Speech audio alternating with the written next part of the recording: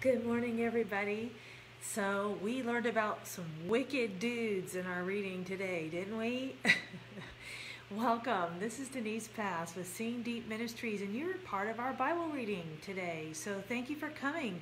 This is where we see deep in a shallow world and we overcome the battles of the mind with the Word of God.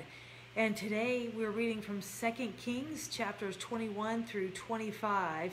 And what a riveting read!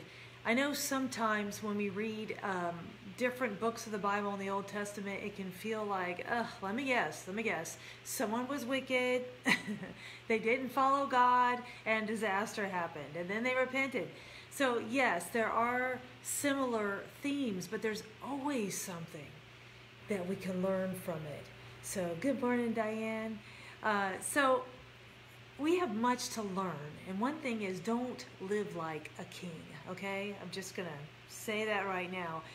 But what not to do, for sure, and what to do. We can learn a lot from what they did. So, a quick overview of today's reading. In 2 Kings 21, we read about Judah's king Manasseh and King Amon. In chapters 22 to 23, we learn about Judah's king Josiah's reign and the reforms he made, along with a couple more kings in Judah, Jehoahaz and Jehoiakim. In chapter 24, Jehoiakim's rebellion and deportation to Babylon happens. And then we end today's reading with Nebuchadnezzar's siege of Jerusalem. And so the Bible reading of the day, again, 2 Kings 21 through 25. So reading from 2 Kings 21, verses 1 and 2, it says, Manasseh was 12 years old when he became king, and he reigned in Jerusalem 55 years. His mother was, this is an interesting name, Hephzibah. Now, I thought it was kind of intriguing that a lot of these kings, they said the mama's name. Hey, yay for mamas, high five. We get a little call out here. but verse 2, he did what was evil in the Lord's sight following the detestable practices of the pagan nations that the Lord had driven from the land ahead of the Israelites. Okay, y'all, this king was 12 years old. 12 when he started. You know, sometimes I think about how kids are being raised today, and a lot of times playing video games right out of the womb. You know, uh, they're not really prepared for life by that. But at age 12 to be a king, and it turns out he wasn't a great one, right? He was a wicked one. But it doesn't compare with Josiah, who was eight years old when he started as a king. Uh, it's a different time and culture for sure. But notice why God was displeased and what was evil about King Manasseh. He followed the detestable practices of the pagan nation. So don't live like a king, don't follow the culture. We've talked about that some here recently because that happens to be what was in the scriptures we were reading. But I see it more now than ever. I think once you're over 50 years old, everything kind of comes together. And it's like, oh man, you just see what this culture around us is doing and how much we've got to represent Christ well. So the culture around us is pervasive with anti God messages. And if we don't resist these messages, guess what? We're going to be carried away by them. So don't live like a king and don't serve idols. Manasseh's son, King Amon, wasn't any better than dad.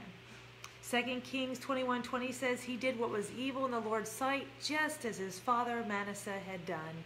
He followed the example of his father, worshiping the same idols his father had worshipped.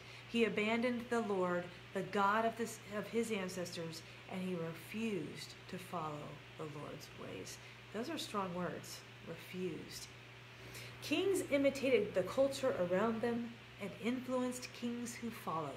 But we can decide to be counterculture. But you know, it's going to be hard.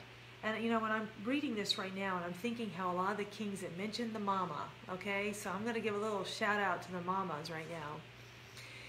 This is going to be the biggest challenge we have teaching our kids to avoid sin, to overcome sin. Scripture talks about sin wants to master us, but we must master it. And so I think a lot of what we do as moms is try to teach our kids to follow Christ, obviously, but how to battle against sin. Because sin is deceptive, our own hearts are deceptive, it is extremely difficult. And so my kids will tell you, I went to a lot of radical measures to keep them from sin, and sometimes it bugged them. And it's like, good grief, you know, and I was accused of, um, oh, what is it, uh, overprotecting, sheltering. Uh, my kids thank me for that now. You see, there's a, a sheltering, a protecting that we need to do as moms while they are young so that they are equipped with wisdom so that when they go out into the world, they can handle it. Otherwise, and look, these kings were 12 and some are 8. Otherwise, they might not know how to resist sin, might not know how to uh, handle the influences in our life because our flesh wants to follow wickedness. That's the natural and it stinks. But if we're aware of it, then we can train our kids to be able to handle it. So, uh, I won't get into any of the stories, but let's just say I've been a radical mama. so, we have to choose who we want to imitate, right? We are all imitating someone or something. Influences are all around us. God's word is an influence. The culture is a word, is, is an influence. The people around us are an influence. In 1 Corinthians 1.11, Paul said, And you should imitate me just as I imitate Christ. Ultimately, this is who we want to imitate. And Christ lived a perfect example so we would know how we should live. And so we have that before us, but we also have the Holy Spirit to enable us. But friends, not only do we need to not imitate the wicked culture around us, but we need to set an example for the believers and for the culture around us. I used to tell my children when they were little that it was not just the avoidance of evil, but the example of righteousness they needed to set. And that was going to be hard because people made fun of us, okay? You know, like, oh, you don't watch this movie, you don't do sleepovers. Like, what is y'all's problem? Y'all be weird. well, we wanted to be righteous. And you know what? Not self righteous. To say that right now because there's nothing good in us except for Christ Jesus. Firmly believe that. But we're still called to be this influence by the grace of God. And so King Josiah would be a king worth imitating, right? So, so far I've said, don't live like a king, serving idols, serving self, following the culture. But this king was worth imitating. And he imitated King David. 2 Kings 22 2 says, He did what was pleasing in the Lord's sight and followed the example of his ancestor David. He did not turn away from doing what was right. Oh man, those are beautiful words. Don't we wish that would be the case for everybody? I want everybody to get to heaven. I want everybody to imitate Jesus. But man, do we get pulled away so easily. Let God's word be the biggest influence in your life. 2 Kings 22, verse 8, 11 through 13 says, Hilkiah the high priest said to Shaphan, the court secretary. That's a cool name for back then, right? Shaphan. anyway, I have found the book of the law in the Lord's temple. Then Hilkiah gave the scroll to Shaphan, and he read it. When the king heard what was written in the book of the law, he tore his clothes in despair.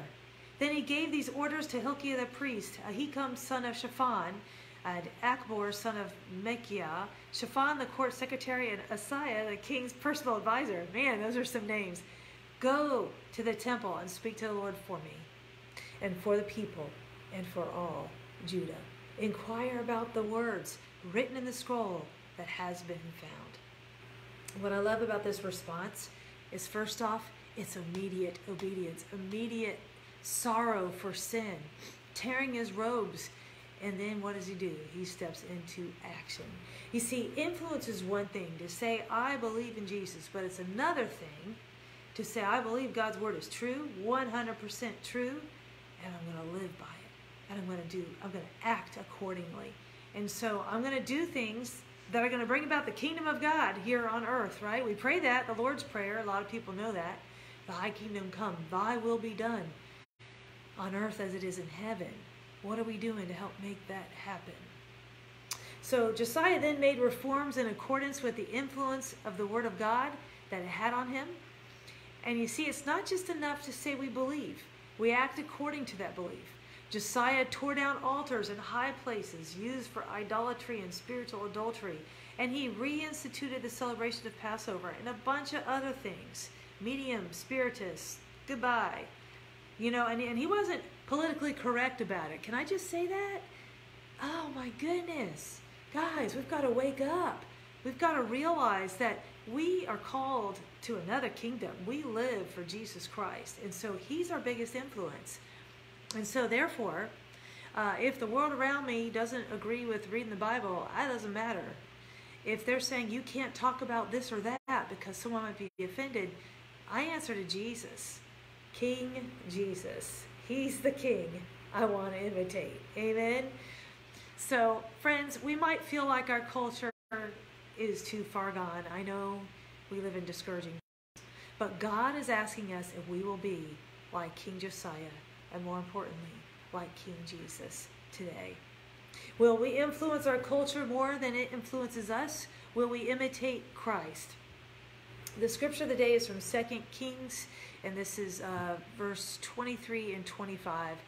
It says, I'm sorry, chapter 23, verse 25.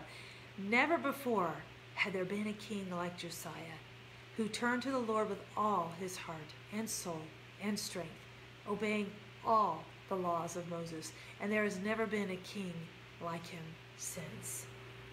May we live so radically different that people are saying, What is it about you?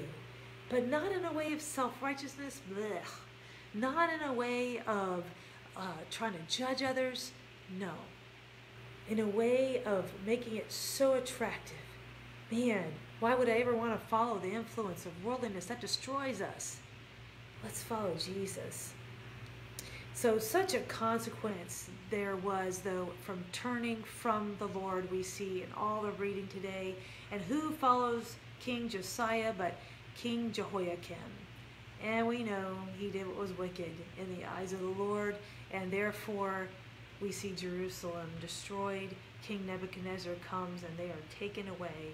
Such a consequence, friends.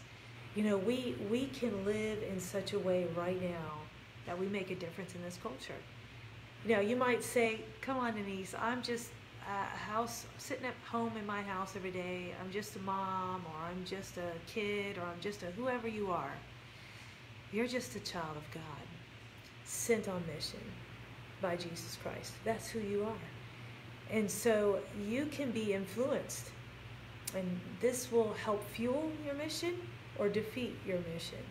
And so if you want to sit around and watch movies all the time, you want to play video games and numb yourself to this life while the life is speeding on by, that's not a good choice. But if you want to hunger after God's word and say, God, here I am, send me, it'll be the most exciting adventure of your life. So, you guys, uh, I guess the main application that I come away with is man, there's lots of people who don't live for Jesus, right? But the ones who do, they can also imitate, they can influence the culture. Let's be influencers of our culture who are following after Christ hard. Don't compromise. Don't give in. Resist evil. Resist the devil, and what? He'll flee from you. So, you guys, uh, thanks for being in the Word with me today. And Lord willing, go go with God. I, I always say that. That's part of what I like to say. Go with God. And Lord willing, we'll catch you tomorrow.